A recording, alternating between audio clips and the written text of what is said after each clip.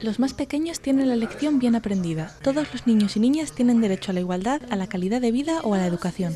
Los niños tienen derecho a hacer todo, a ir al colegio, tienen derecho a ir al cole para poder aprender y trabajar cuando sean mayores. Pero también saben que estos derechos no siempre se cumplen y que muchos niños no tienen tanta suerte como ellos. Pues que les ayuden poniéndoles una escuela lo más cerca que puedan. La mala suerte es que ellos no pueden ir porque no tienen medio de transporte, no tienen autobús.